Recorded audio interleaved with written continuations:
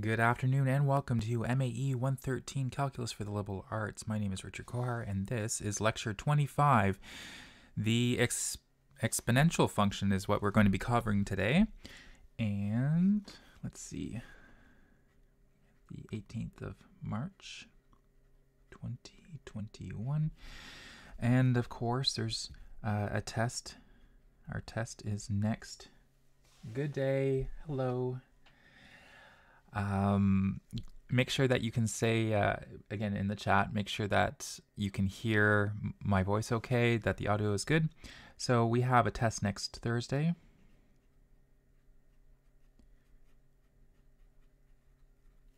Perfect. Excellent. Thank you.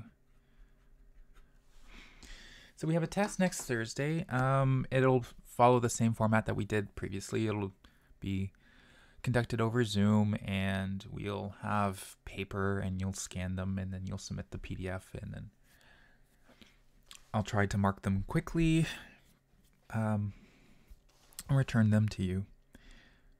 So we have a test next Thursday. Um, there's an assignment posted.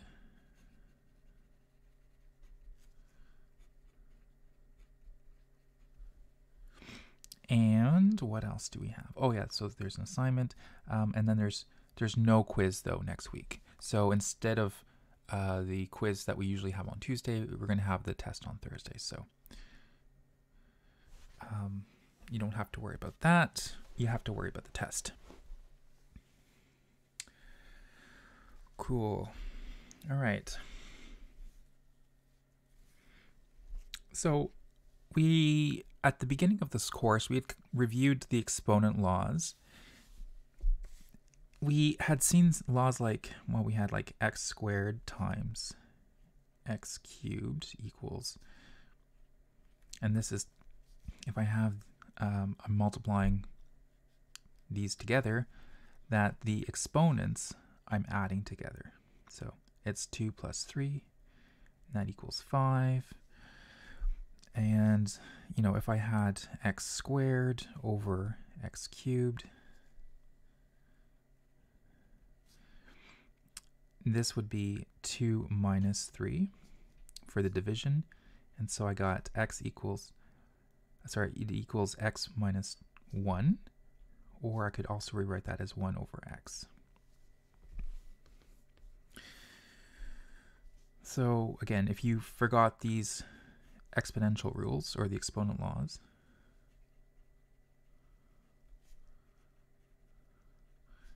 Again, you can always go back in a previous lecture.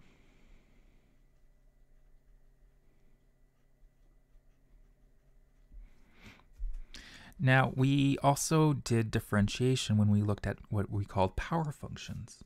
So if I had a function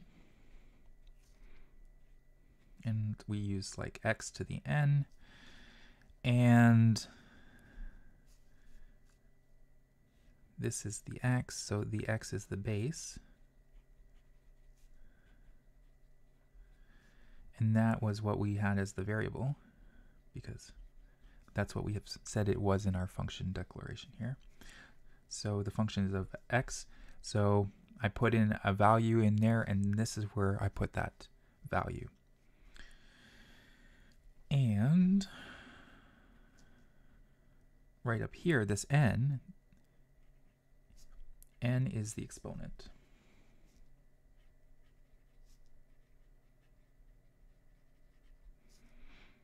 And uh, I'm going to say, you know, it's either a constant or I'm going to say it's fixed, meaning that it's not changing.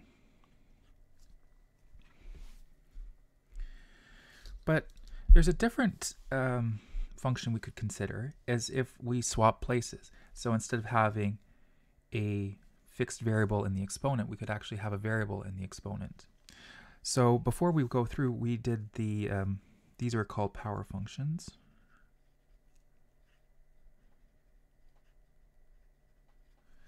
And that's what led us to our power rule when we were using differentiation. But we can also consider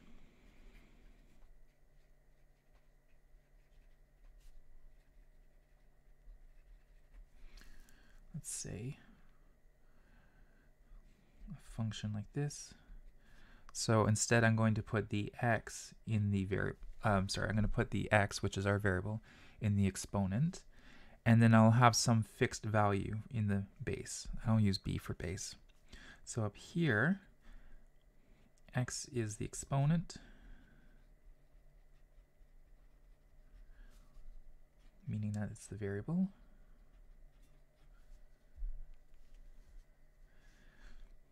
And down here, this is the base.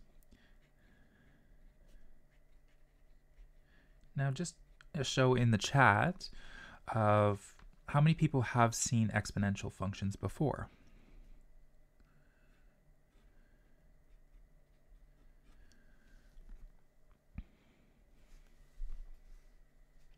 Are there lots of people who've seen it before or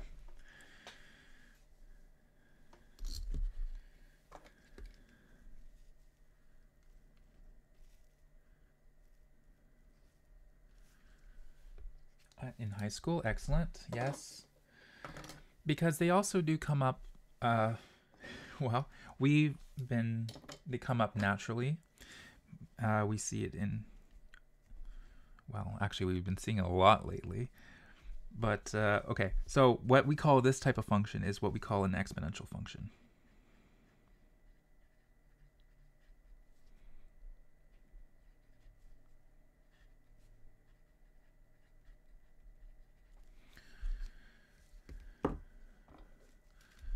And of course, we've been hearing that term exponential a lot lately in the news because we're in 2021 and we've living with COVID now for a year. And we keep hearing about exponential growth. We were always afraid that uh, it's going to grow exponentially. Um, so again, this naturally rises.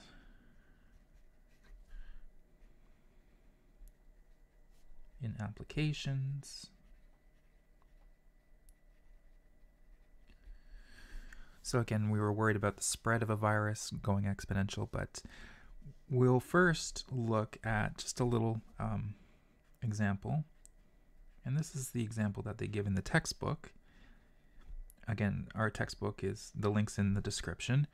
So again, I have but forgot it completely. Uh, well, I'm sure you've heard it now uttered many times now in the news, but it's always good that we're going to refresh. What does it actually mean? I mean, I will definitely go and routinely look up words in the dictionary just to make sure. Also, if you want to keep the pulse, like if you if you're like me and you like don't have a lot of social media and you don't really know what's going on in the world, all you have to really do is go to the Oxford English Dictionary website and you can see what words are trending because those are the words that people are looking up because they don't know what that means. So, um, I'm pretty sure at some point like exponential was one of those trending words. I feel like it at least.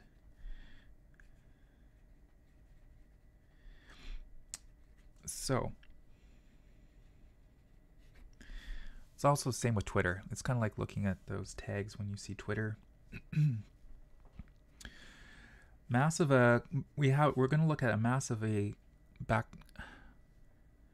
bacterial colony and we're going to say that it doubles it doubles every hour.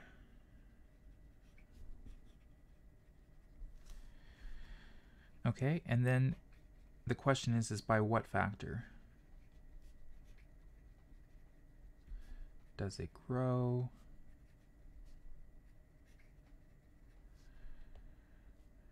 After.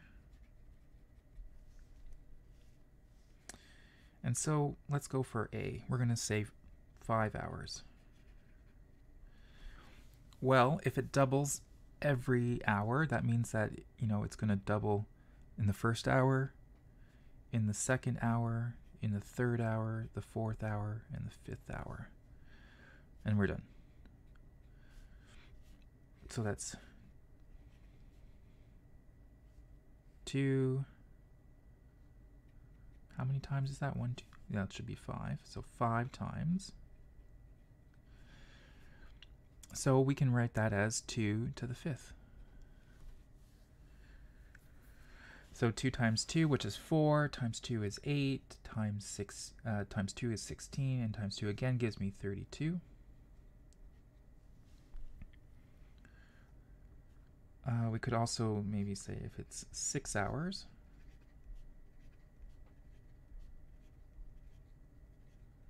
then that would be 2 to the 6th. Uh, so I'll just double that again from going from 5 to 6 gives me 64. And if you're worried about, uh, um, we're just doubling it. So these are our common numbers that we usually use for memory. So you can have 2 gigs, 4 gigs, 8 gigs, 16, 32, 64.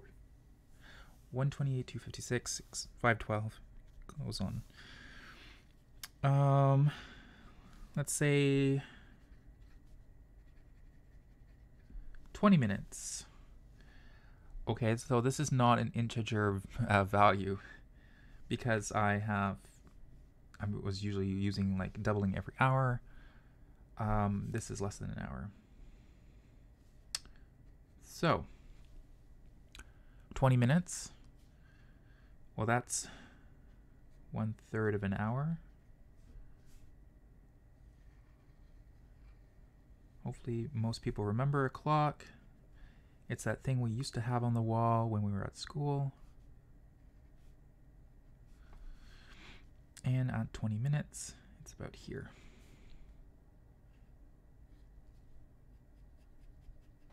So it's a third. Uh, right.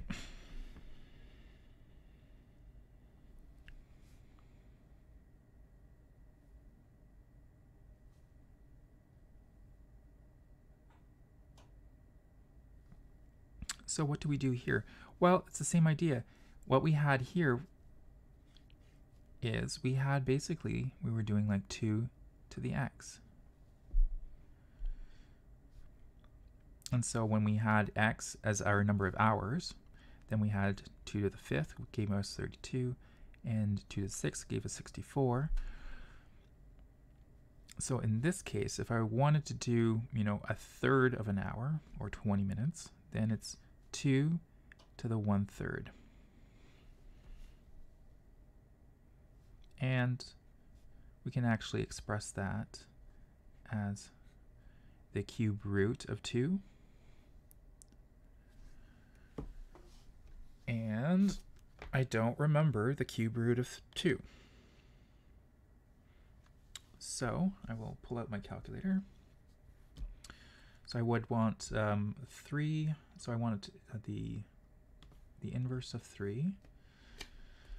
And then I'm going to take 2 and I'm going to do the power of it. Nope.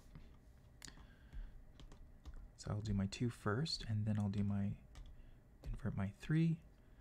2 to the should give me 1 point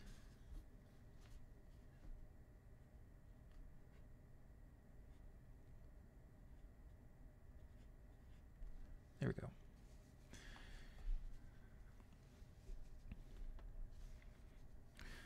So that means that it'll grow in 20 minutes by a factor of 1.2599. So roughly 1.26. And, you know, you can keep going on. You know, what is X hours? Well, I kind of let that let, let that slip already you know, it would be to the x factor.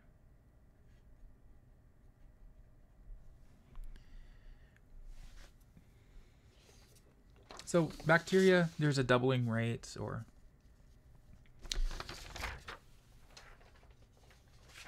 Now, of course, that is a very um, idealized situation.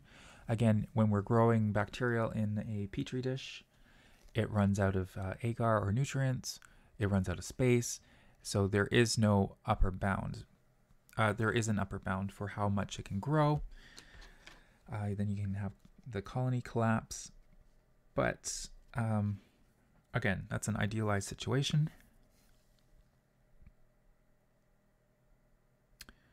So the I, the next thing that we could do is what would that graph look like?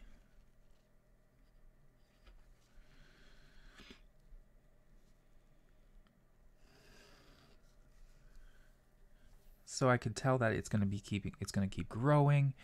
It's, uh, we would like it to be continuous. Um, but instead, what I'm going to do is I'm going to switch over to the computer. And this is what it's perfect for. I'm going to use, I'm going to have my x values, and I'm going to do 2 to the x, oops, to the x. And the little uh, chevron or caret top denotes that's uh, going, that x is the exponent. And I'm going to use some, uh, like, well, let's do minus 2 and uh, minus 0.75 and 0.5. So I'm going to go like in half stops or half. There we go. Maybe I'll go up to 3. And I'll take this and I will do that.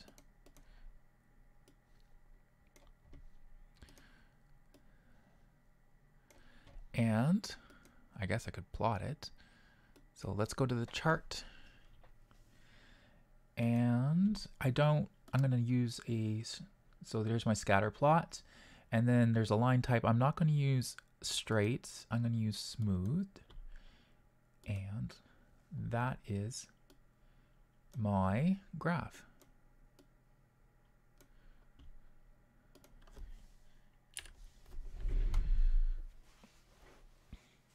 So that's 2 to the x. So um, I we've done it for kind of points, like individual points, and we would like it to be continuous. Um, the other thing to note is that the y-intercept is at 0, 1. So that is something that we'll make a note of. So let's just jump back to the paper. So just to give you a quick sketch, it's a graph like this. So if you had to draw what 2 to the x looks like, just something like this. Here it goes.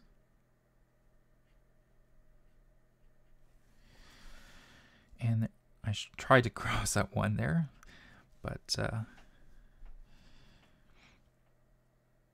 And this is where x is the reals. So we can see from that, for this one, we have a domain. What do you guys think is the domain here? What?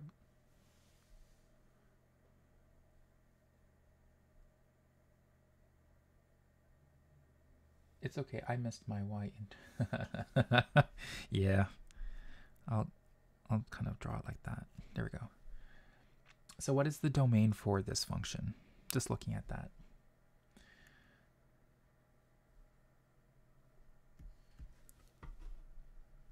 Greater or equal to zero, the domain.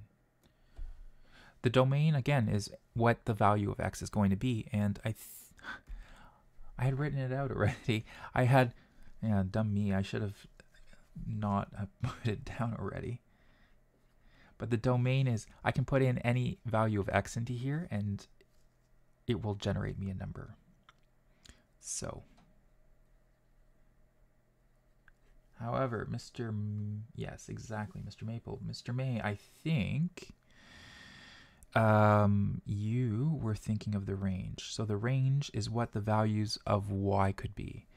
And in this case, I'm going to tell you that it's from 0 to infinity. Now, this is a continuous increasing function over the reals.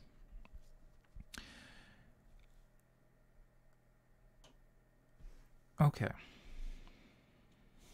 So what's the next thing that we could do is I'm going to draw a graph, another one.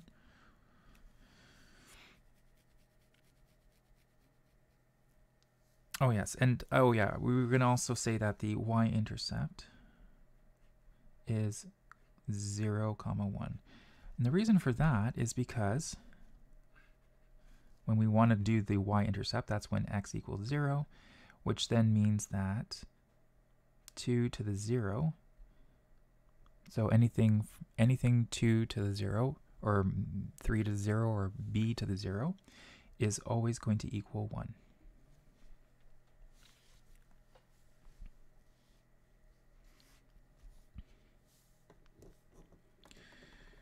Now, what, what can we do? We can do another example here.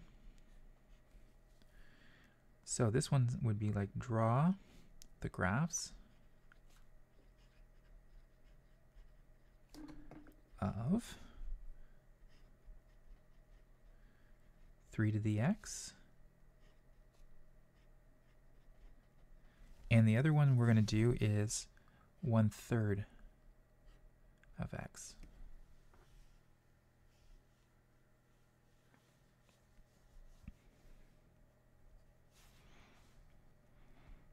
Okay, so let's jump back. And so in this one we're going to use 3 to the x. Oops.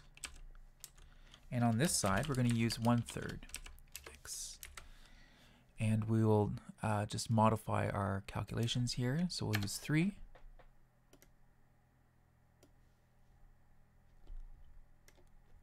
Oh yeah, and the graph also, that's the nice thing is once when you've plotted it, it'll update it up as well. So again, uh, 0 and 1, sorry, when x equals 0, it's still 1, so that's good. And on the uh, A2, we'll do 9.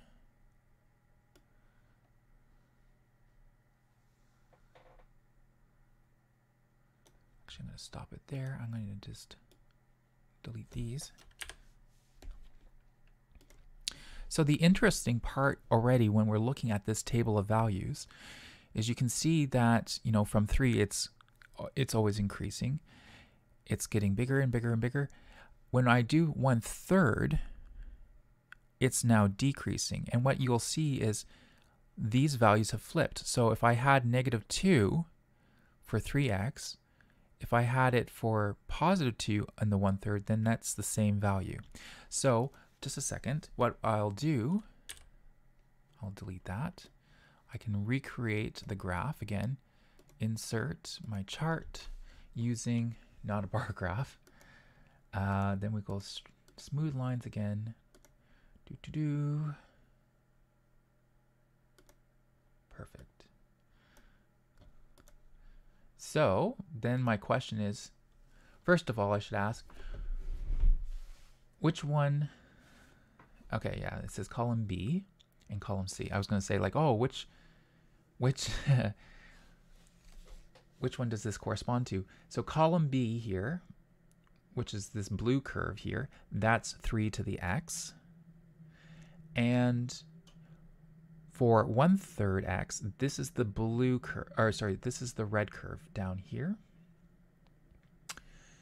And what you'll see is that along the, the x equals zero line, or the y-axis, that the 3x is reflected. So uh, then the other thing to kind of note too is uh, at 1 and 3. So we'll do that. So I'll make some, I'll just kind of note as I, I should just switch over to the paper. Oops, there we go. So I have x, and then I'll use 3 to the x and 1 third to the x. So we, of course, know that at 0. These will be 1 and 1. I'll use um, 1 gives me 3. And the other one I'll use is also uh, 2. So that will give me 9. And then for the one third, So that will give me one third here.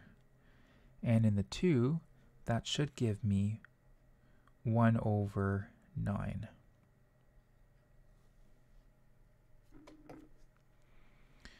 And then if I picked, you know, negative 1 and negative 2, then in the 1 third one, that should give me 3 and 9.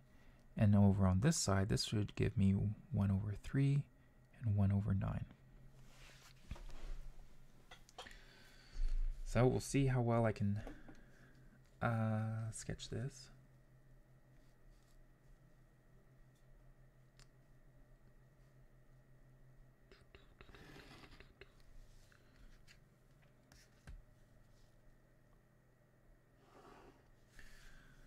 So that's my line of symmetry that I'll have to make sure that it kind of reflects in. There's x and y.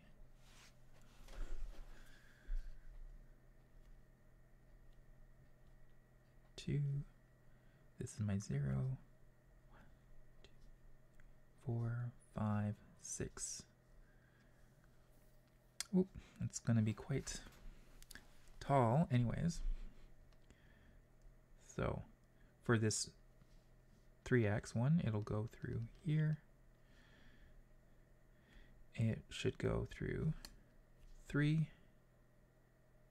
and then like go really up high. So there we go. So there's my 3 to the x. And similarly,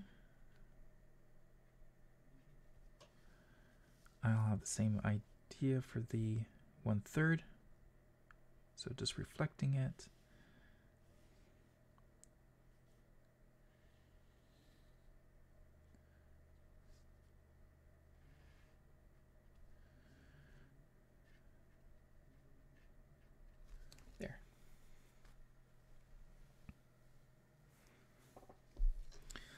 So again, uh, I'll make a little note.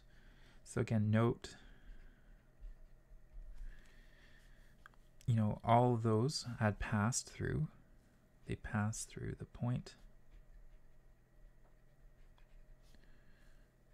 0 comma 1 and it will always go because b to the 0 equals 1 for b not equal to 0.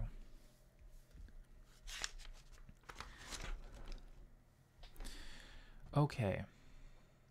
So just jumping back to my spreadsheet here, uh, we had done that, but I had done something a little bit earlier. So I had done something like 2, 2 to the x, 3 to the x, 5 to the x. I have 1 fifth, 1 third, a half. And again, the nice thing is I can just select all these points and it will graph it for me. Just so that I can show you the basic shape. And again, I don't want bar graph smooth. There we go.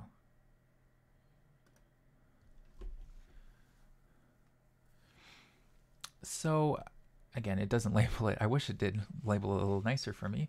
But column, uh, let's look at, there's E. So column E, which is my green. So this would be to the X here. This one, this one that's a little bit bigger, that's 3 to the X. Up here, that's 5 to the X. So again, if you were if you were given something like a graph, um, for example, on exam, you would get you know some lines like this, and you could say like what's two to the x, three to the x, or five to the x. You would say, oh, this one's smaller because again, two to the x would be smaller than three to the x, and three to the x would be smaller than five to the x. And we can also then flip it on the other side. That uh, on this one, this one's the tallest, so I would say that that would be 1 fifth to the x. And on this side, this would be 1 to the third, or sorry, 1 third to the x. And this one would be a half to the x. But the thing to notice as well, again, to illustrate this, is they all will go through that point 0, 1.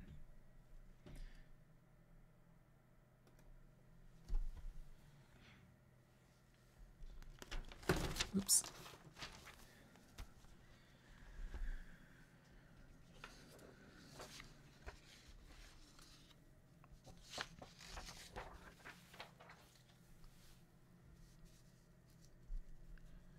So this is third page. So um, you kind of see the two cases already. So we have the case one. This is where b is greater than 1. So in that case, you'll have something like that. It's increasing, it's continuous.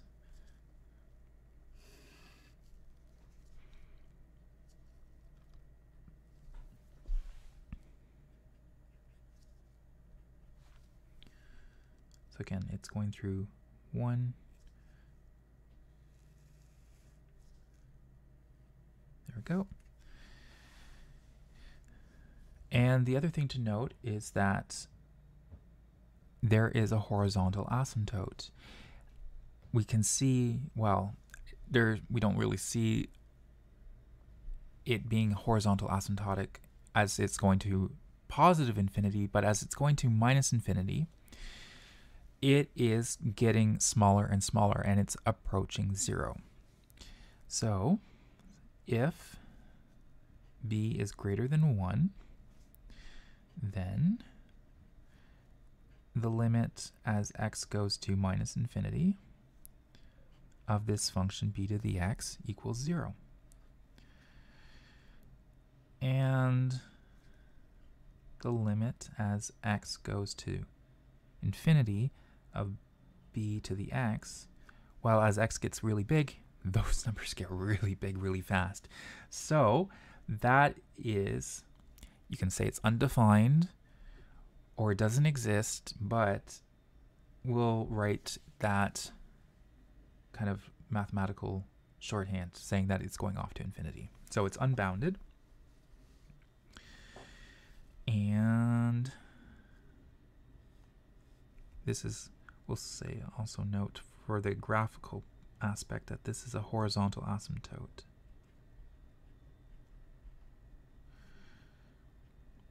So that's at y equals 0, or that's the x-axis.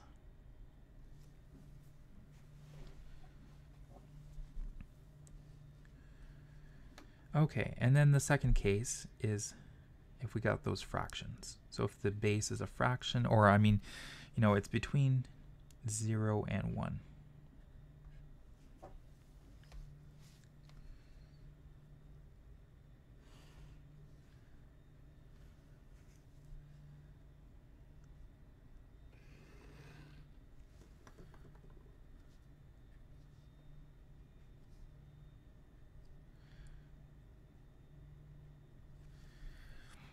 So same idea, but we had seen that with the other graphs that if it's a frac like it's a fraction or you know it's 1 over something, it's between 0 and 1, that it's flipped.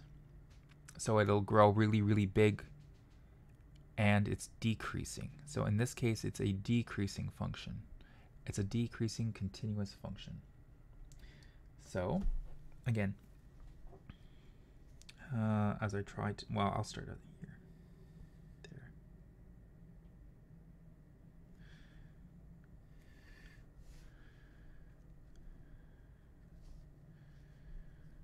Okay, so up here, that's my b equals x.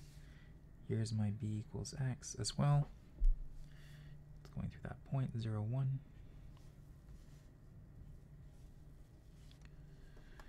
So, in this case, I have if 0 is less than, oh sorry, if b is between 0 and 1, then the limit as x goes to minus infinity, so that one is going, this one is getting really, really big as x is getting really small. So that one is unbounded. And this one is where I let the x goes to positive infinity. And that limit of b to the x is equal to, and it's getting really, really close to 0. So, and in that case,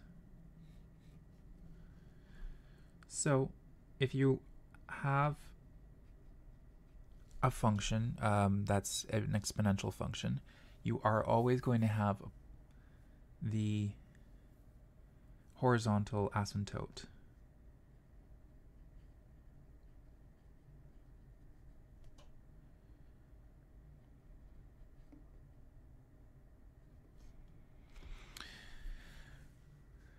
Okay. Number four.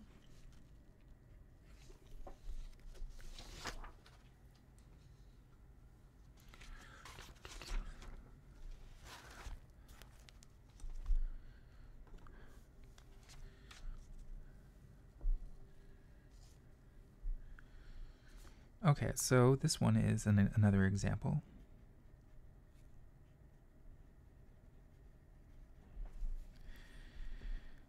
And what this one says is using y equals 2 to the x, sketch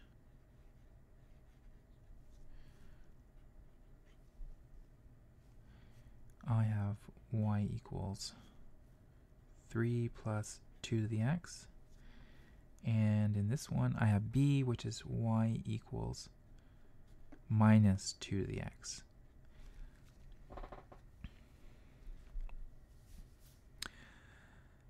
So don't freak out about that minus 2 because you're like, oh no, we, we don't have anything. You're like, you just showed us you we you have the two cases. Like, yeah, b is greater than 1 and that's grow. And then you had like this one, which was between 0 and 1, you didn't give us any. Just, just don't worry. We can handle this. We can handle it using a what's we can use a transformation. Okay? And this is uh, a transfer transformations that you probably would have seen in high school or something that um, may have been covered in 103 but I will still kind of talk through this so the idea is using this as our base function to work with. And by base, I mean like we're going to use this and we're going to apply some transformation or we're going to kind of adapt it so that we fit it or we match to what we want. So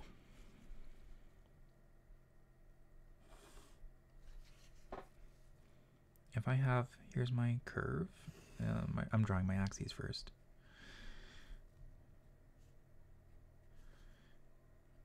The nice thing probably on a test, you would get nice, you would get to, oh, well, if you don't have a printer, then you won't have it, so you'll have to draw this out by hand then, so you'll probably need a ruler um, or an exam.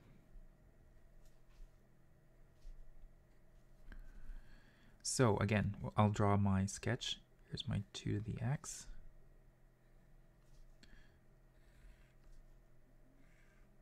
There we go. 2 to the x.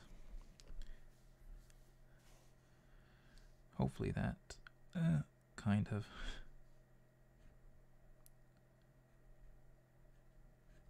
There we go. So here one, two, three, four. Okay, so to do that transformation, what this says is you take 2 to the x, and we're going to add 3. So that means, and shift up 3 units. And that's okay. Like, the that just means everything. All of the properties that we had previously move with it. So it'll move up by three. So if I had my domain here, so again, this is for my y equals 2 the x. The domain uh, is all the real, so that's fine.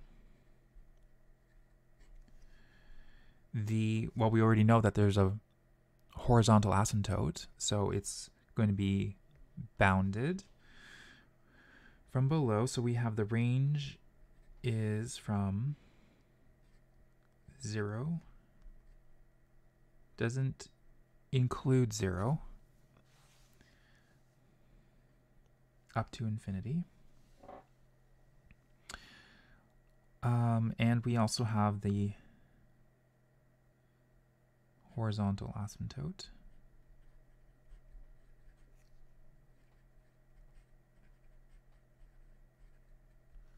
So again, just summarizing what we already know. So it's uh, y equals 0.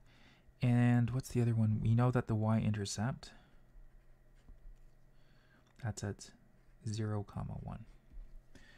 So that's, those are my properties. And I'll just kind of, on this side here, I'll write my 3 plus 2x. So again, we're going to just take that and shove it up 3 units. Okay, so I'm going to start with the horizontal asymptote. It's going to move up 3 units, so we're going to go from 0 up to 3. So 1, 2, here's 3.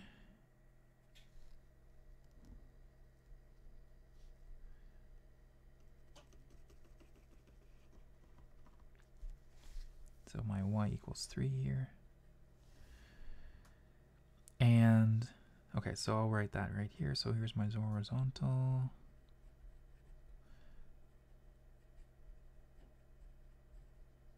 Now you don't have to, I'm not, you don't have to write all this out here. If you just did your sketch and you just shifted it up by three units, that's fine. Perfect. What I'm just doing is showing you that the properties of that function, it also applies to this as well. So that's my horizontal asymptote. My y-intercept also moves up by three units. So it goes from, from one here. So one, two, three goes up three units, so that goes up to 0 comma 4. So that is my new y-intercept. The range and the domain. Okay, so the domain, there's no restriction. So again, so it's just from negative to infinity, negative infinity to infinity. And the range also moves up with it. So we had had 0, it's going to move up by 3, so it's now from 3 to infinity. And so I'm just going to kind of try to copy this curve, but up 3 units. So I got, here it is, going up there, and then like up like that. So 3 plus 2 to the x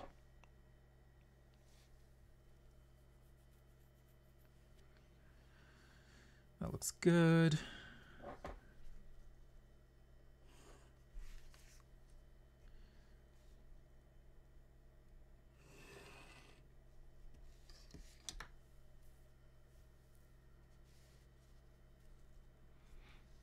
Yeah, so it's, you know, that's it. That's all you had to do was that. Kind of just take this, move it up by three, and all the properties kind of move with it. So the asymptote moves up, the y-intercept moves up. And let's see, what's the next one that we had? We had b equals y equals minus, x, uh, minus 2 to the x.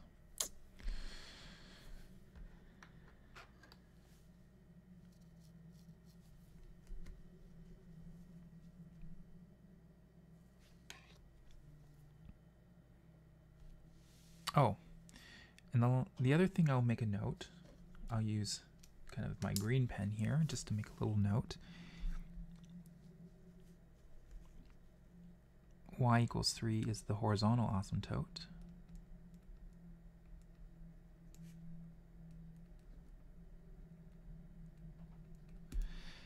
And again, you can see that if I took the limit as x goes to minus infinity, of 3 plus 2 to the x. Well, again, I can apply that limit to each individual one.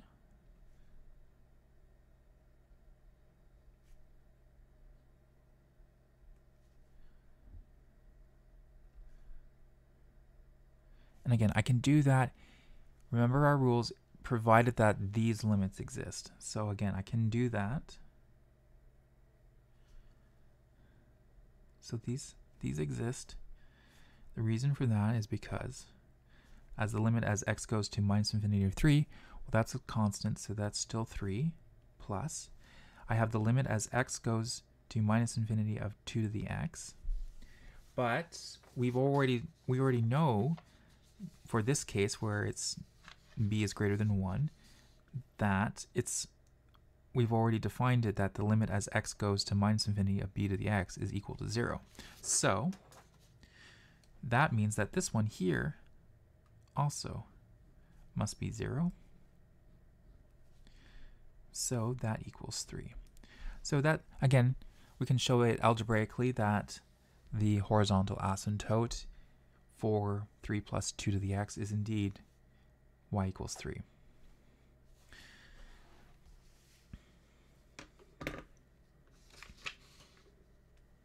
Okay, so the one that people could be freaking out because I haven't shown anything yet about how to handle it. We've because again we've always dealt with b or the base, which was greater than zero. Um, okay, so again, using 2 to the x, so here's my y-intercept, 2 to the x.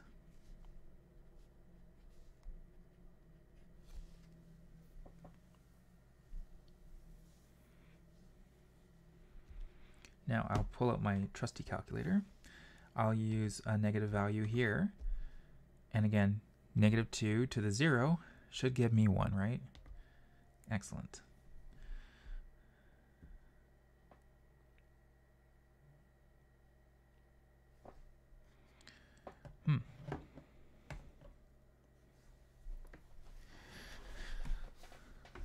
Well, what we should do, maybe,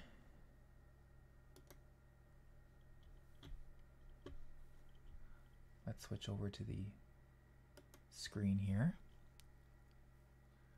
Oh, I have three minutes. Am I going to be able to do this in three minutes? That's... I don't know. we'll see. To the minus 2. Go. And so in this one, I'll just change it to minus 2. Okay.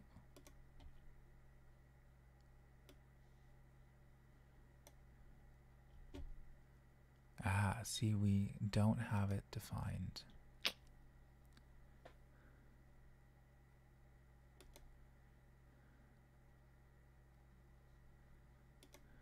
But if I do this,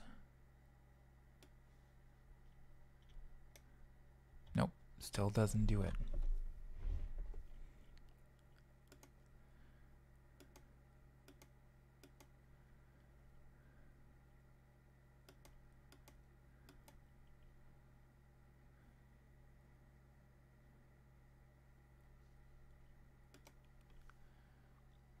What a very odd looking function. Let's see if we can get it to work.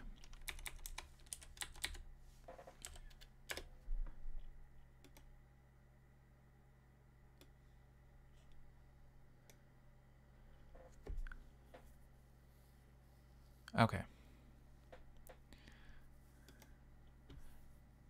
So someone could say like, what happens if I have it with a negative exponent. So same idea again. Let's just have a look at that.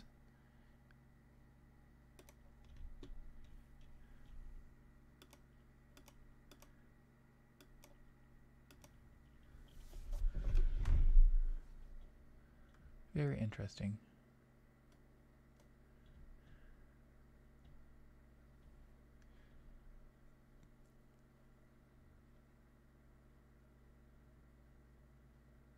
So I'm just going to switch back to this.